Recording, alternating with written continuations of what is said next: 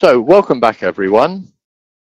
We're now into the very final section of this training, the mock exam.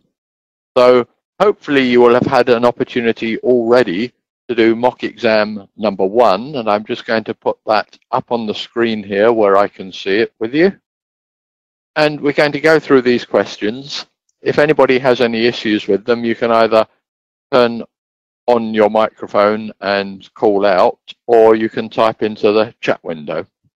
And I'm just going to go through these. You do have the answer rationales, which have actual quotes from the ITIL Foundation publication to justify the specific answers and explanations of why the wrong answers are wrong. So, number one, how does categorization of incidents assist incident management? The correct answer is A, it helps direct the incident to the correct support area.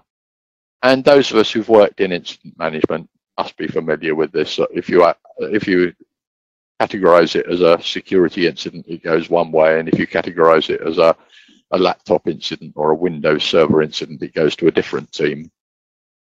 The priority assigned to the incident will be largely based on the business impact rather than the category um, categorization doesn't ensure that anything's resolved. It might identify what the agreed time is going to be, but it certainly won't ensure that anybody does anything. And it only has a relatively minor impact on how the service provider is perceived. I mean, as part of the whole of incident management, really. Number two, which value chain activity creates service components? I think this one should have been very easy for you. The obtain build value chain activity is completely concerned with obtaining the components that you need to create and support services.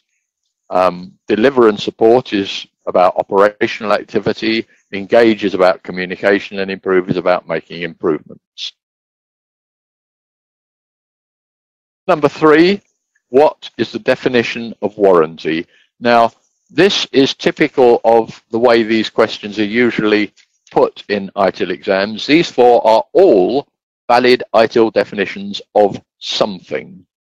And when I look through them, I can see that one of them is a definition, A is the definition of an output. B is the definition of warranty, so the correct answer is B. C is a definition of risk, and D is the definition of utility. So these are all definitions that you should know, which should make the question relatively easy because even if you've forgotten the definition of warranty, if you recognize the others, you'll know they're not the definition of warranty. Identify the missing word in the following sentence.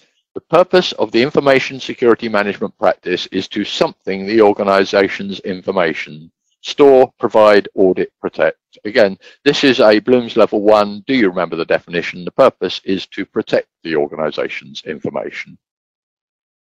Is D. Question number five. Which two needs should change control balance? Is it the need to assess risks and expected benefits, the need to manage a change schedule, the need to make beneficial changes or the need to protect customers and users.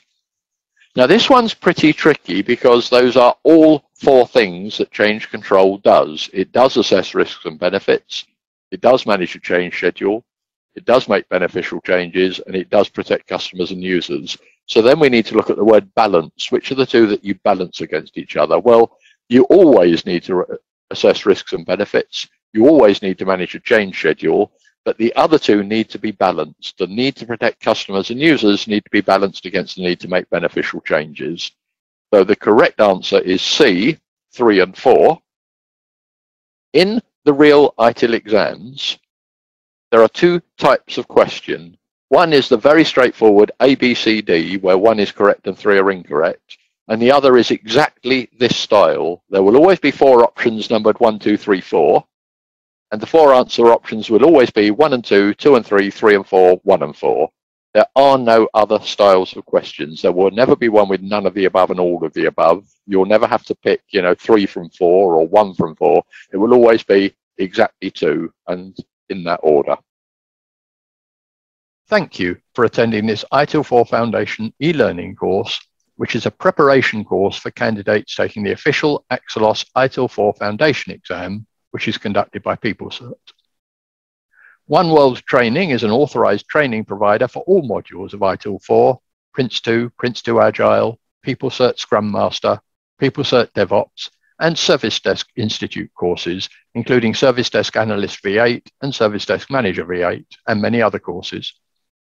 All courses offered by One World Training are available via e-learning and live online.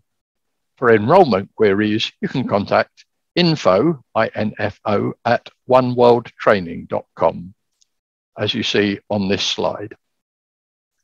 If you've got any questions about anything you have learned on this training course, then you can email One World Training using that same email address as shown on this slide. I hope that you have enjoyed this course and I'd like to wish you good luck in your ITIL 4 Foundation exam. Thank you and goodbye.